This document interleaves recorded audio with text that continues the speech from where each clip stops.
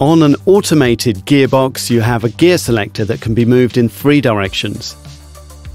It has two rings. Rotate the center ring to D, drive, and the gearbox engages the starting ratio in automatic mode. You're ready to go. Rotate it to N and the gearbox shifts into neutral. Move the second ring to C to crawler mode. The gearbox now engages the lowest forward gear and shifts into manual mode.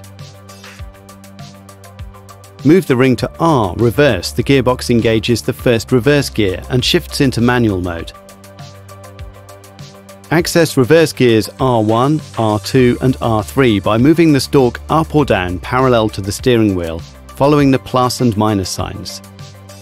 Careful, in mode R3 the vehicle must be stationary for this gear to engage. It can cause premature clutch wear.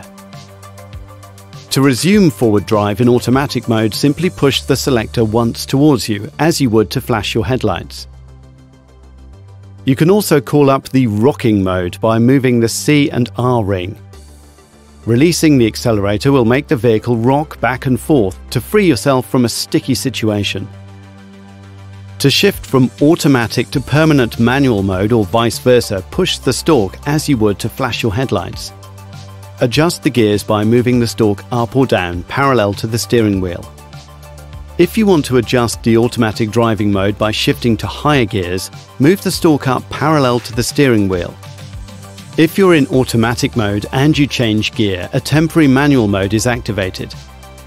Automatic mode is reactivated as soon as you accelerate, when you pull the stalk towards you, moving it as for headlight flashing, or if the vehicle is stationary.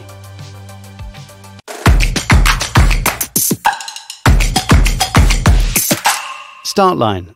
The keys to a winning start.